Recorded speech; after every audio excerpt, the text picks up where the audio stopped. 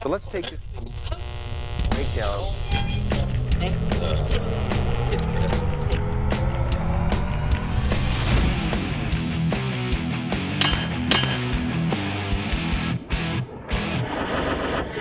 Welcome to Long Range Pursuit. We've got a pretty cool episode coming up. Uh, Justin Gibbins and his brother Colton and their father Tom take a trip to Alaska to hunt do-it-yourself caribou.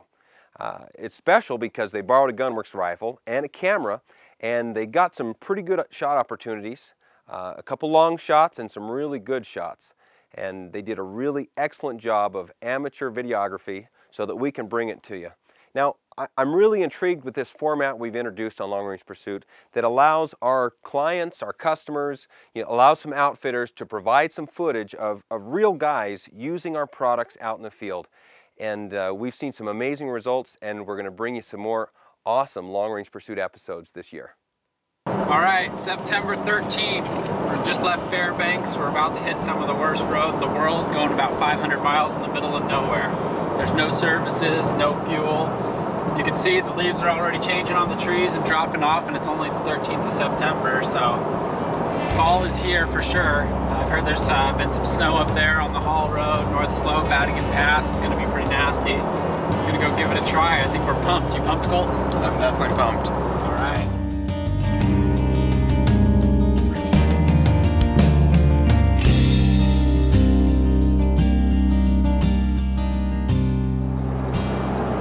Well, we're almost up to Atigun Pass now. You can see we're out of the uh, deciduous trees. We're nothing but conifers and high rolling tundra. Got some snow on the mountains up here, some termination dust as they call it. Pretty excited. It's still 60 degrees, blue skies. We've got real great weather right now. The big delta underneath us here in the river. But after we crest Atigun Pass, that's where all the caribou are going to be on the other side there.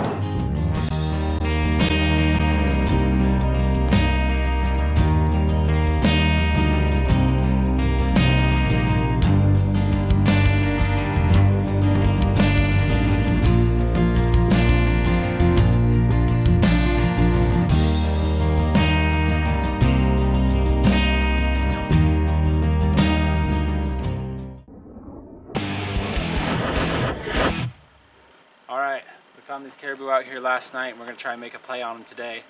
Here's the Alaska pipeline right behind us. It's pretty impressive, but uh, we're gonna try and kill them with a bow with Colton here first. Uh, if that doesn't work, we're gonna move to the muzzle loader with my dad, and if that doesn't work, then we're gonna bust out the Gunwerks Special, know, seven mag, shoot one at a thousand yards. So we have a lot of options today, a lot of caribou out here. There's probably five or six good bulls that we've been looking at. Um, we're gonna get out here on this ridge. They're all feeding right on top of this ridge out here and uh, see what we can do. We got five points locked in the waypoint finder on the GPS and we're ready to start hiking across the tundra.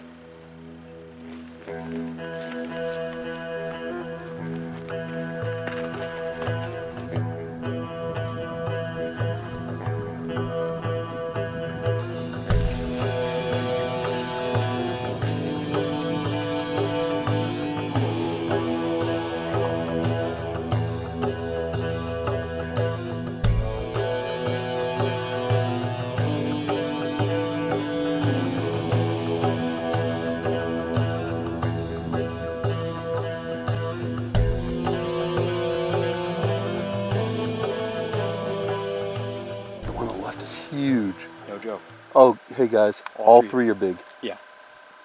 There are three big ones right there. One of them is definitely a shooter. There's a couple other possibles.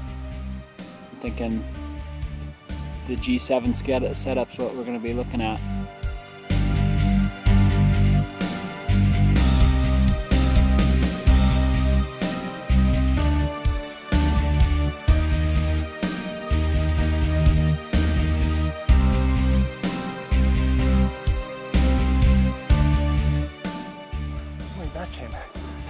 Outside.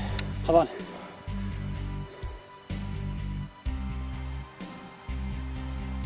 All right, he's 730. Ballistic compensation, dial 710, 710.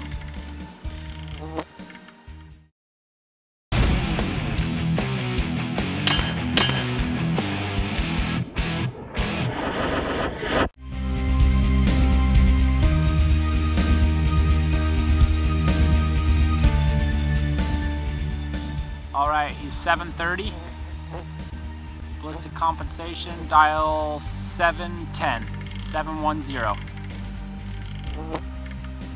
Hold right on. Okay. Right behind the shoulder. Wait from turn.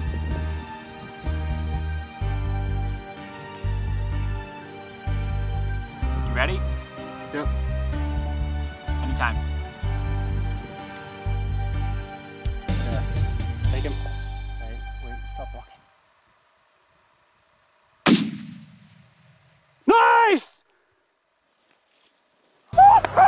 That's my brother! Yeah!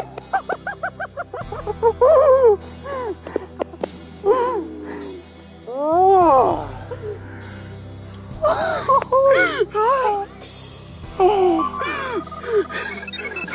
Colton, get out in front of the camera. Grab that gun. First Alaskan Barren Ground Caribou. Talk to us. What do you think of that Gunwerks gun right there? Well, I gotta say, it drops them like a sack of potatoes. 730 yards. Dial in and pull the trigger and you got a dead caribou on the ground. Oh my god. Caribou. Barren ground up here in the Arctic. How does that feel, Colton? Absolutely amazing. It's a great feeling. Up in some great terrain. Came up here just last night. Walked out here this morning. We'd spotted some last night, like we said on some earlier video, and uh, saw them this morning. Walked out here, hiked our butts out here about five and a half miles, just to drop this nice Alaskan caribou. Oh my gosh. Oh, oh my gosh. Oh my gosh. That thing is huge. I didn't know he was that big. Oh my god. Oh, That is something. Oh my God, Colton. Colton, Brother. my double shovels, he's huge. God. He's a monster. What? What is this? What do you have to? What? spotted these pretty close up, or pretty far out here. Is they ended up heading up onto this hill right over here, and uh, we're starting to make a play on them. They ended up coming down into this flat ground over here, and uh, Justin and I we ran up here as fast as we could, trying to get a shot. Kept diving behind these little ridges out here. You can't really tell that's ridgy, but there's dips and everything else throughout here. And uh, anyways, finally got a good opportunity on him. Wouldn't turn sideways, wouldn't turn sideways, and as soon as he did, had the range set up, dialed in the scope, let him have it. So now I got a nice, beautiful Alaskan caribou. Got to come out here on the beautiful terrain out here and up past the Brooks Range. And just glad we can make this all happen.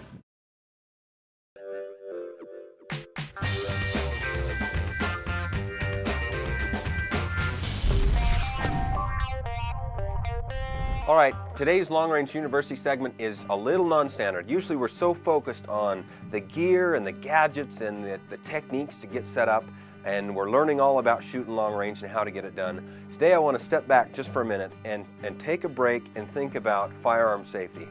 Uh, it's, it's something that it's really easy to get casual about, but it's so important to follow just a few simple rules. Number one, we need to always treat our firearm like it's loaded. What that means is we're going to control our muzzle. We're never going to point our firearm at anything that we wouldn't want to shoot. Uh, on number two, we need to uh, be aware of our target and what's beyond it. Uh, that could be a situation down in the timber, uh, it could be up on a ridge line. We need to know what our target is and be able to identify it, and we need to know what's behind it. Whether you've got a silhouette situation uh, and, and that missed shot could go over the rim, uh, there could be a ranch house, there could be a, a, a rancher or somebody's cows. Uh, we don't ever want to put a bullet out there where we don't know where it's going to end up. So be aware of your target. Number three, we've got uh, a mechanical device called a safety on our rifles. And it's, it, it's confusing to think that, that that makes this firearm inoperable. Um, a safety is a mechanical device. It's something that can fail. So don't rely on your safety. Use it, uh, it, it, could save the day, but don't rely on your safety. I, I, carry my gun without chambering around. and I don't carry my gun around loaded on safety. Just treat it like it's something that could fail when you need it the most. Number four, firearm maintenance is very important. Um, be, be careful to maintain your firearm, keep it in proper maintenance. If you're in the field and you take a tumble, uh, check and make sure you don't have a bore obstruction. If, if your gun's been in the gun cabinet all year, don't take it out and shoot it. Run a patch down there. Make sure spider webs haven't filled it plumb full of cobwebs. It's really important to have proper maintenance and proper bore condition to be safe. And finally, use eye protection and ear protection. It's vital to protect your ears. Uh, every time you shoot a gun without ear protection, it does damage. Uh, if you can in the field, uh, carry a set of plugs and stick them in there. For sure at the range where it's so easy to control, use ear protection and eye protection. Thanks for bearing with me on that. Make sure the next time you're at the range or out in the field that you consider the firearm safety topics we just covered and make sure that you take it serious and make sure that your practices and those of your, your, your children and your buddies also comply. It's all over the place. We're out here on the edge. First shot, 25 mile an hour wind. Tell you what, that's a tough shot. Hey, I'm Mike Davidson with Gunwerks. Hey, it wasn't snowing this morning, but our UPS guy came in about lunchtime and he was just covered with snow. And we'd been wanting to set up this shot scenario for a little while, just waiting for the right day. We've got a, a real snowy day and we just wanted to see, there's two things that we were looking at. Is the snow going to change our bullet's point of impact? And two, will the rangefinder get us some ranges at, at these types of ranges in these types of conditions? So we've just got out here. We're we're uh, we're trying to set up quick. We're not really dressed for it, but I've got some targets out here at seven, eight hundred yards. Some a little closer. I'm going to see what kind of ranges I can get with the rangefinder in this snow, and then we're going to sit down and, and, make the shot and see if, if that uh, uh, precipitation, this snow, is going to change our bullet's point of impact. So let me see if I can get some ranges real quick. Now, I, I, looked through my scope just a minute ago at, at, this first bank of targets, and I can just barely make out the targets. Um, especially there at 700, I, I, just can't hardly see them. I'm gonna, I'm gonna I can see them through the rangefinder.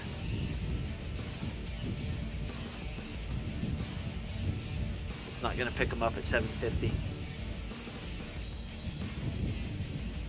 There's a range at 500.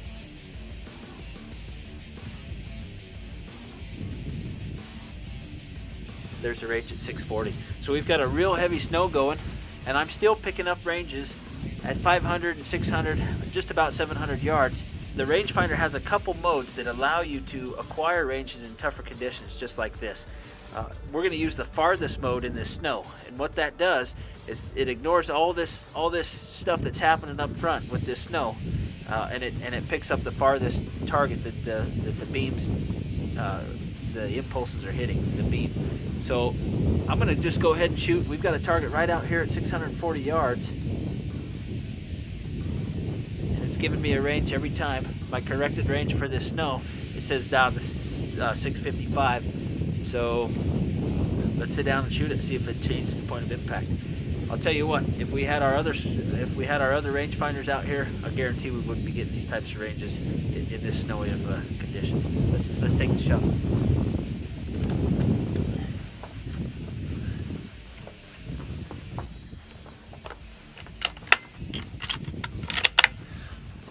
Let's try this one at 500 first. We'll move out to 640. Okay.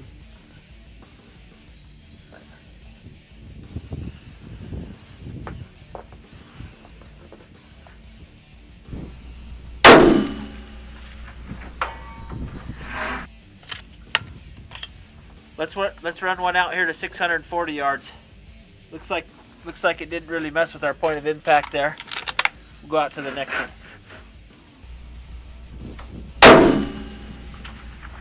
Oop. A little too much wind.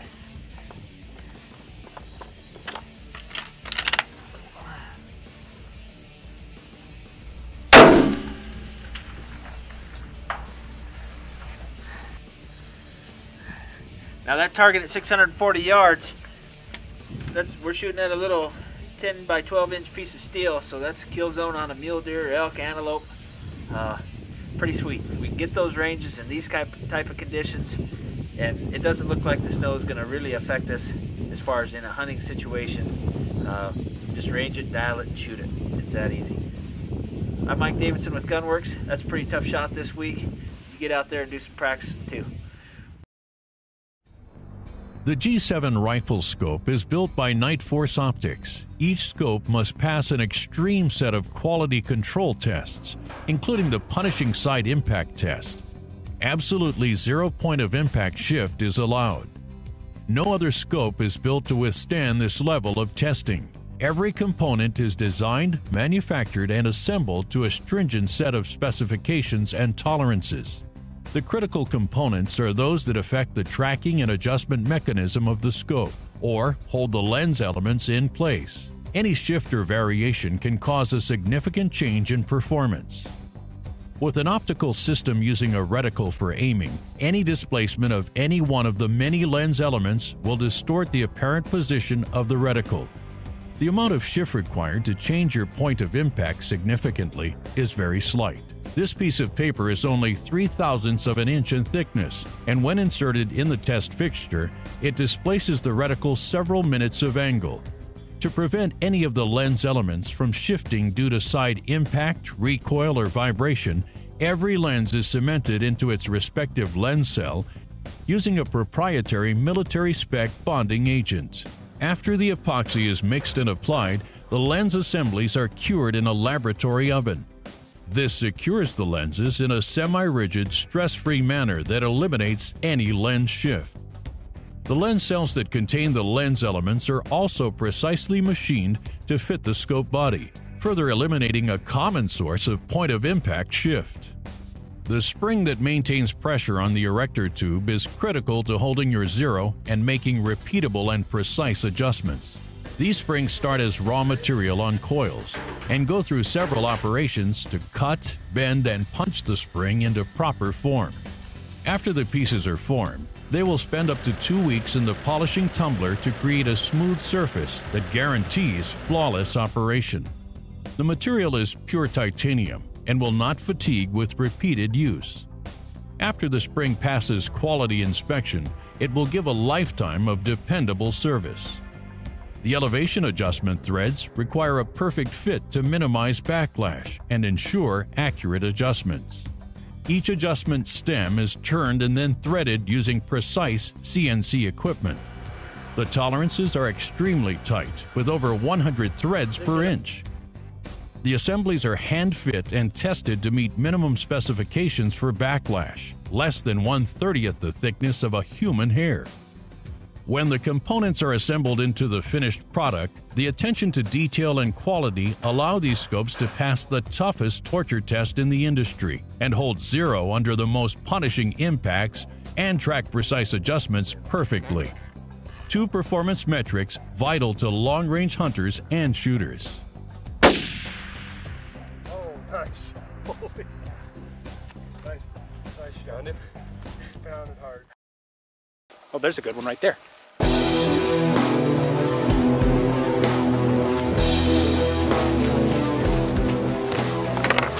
Give me a range. 350. Got him? Yep. He's facing at us, right? You guys ready? You ready? Okay. Ready? Yep.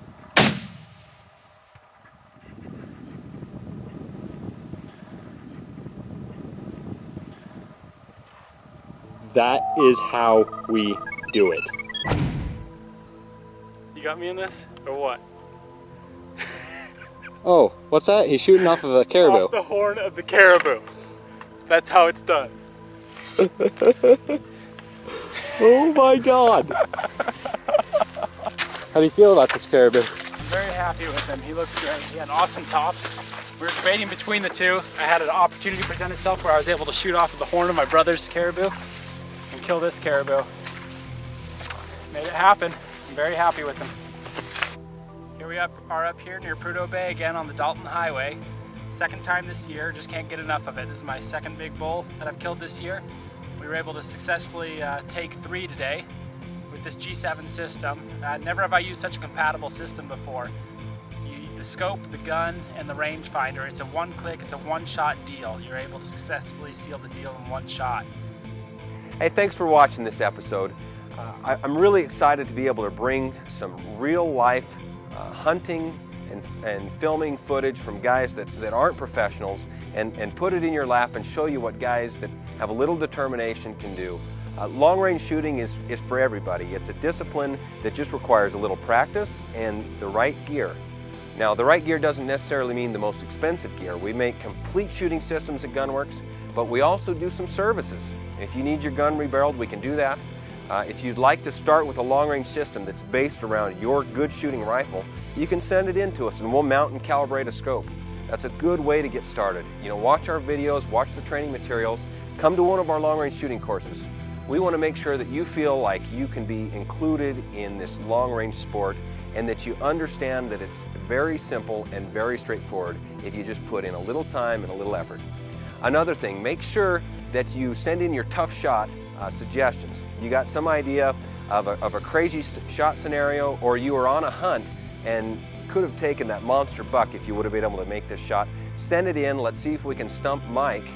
Uh, email it to toughshot at gunwerks.com.